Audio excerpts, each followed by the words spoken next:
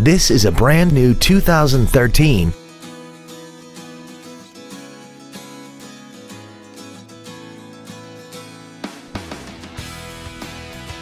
Stop by today and test drive this automobile for yourself.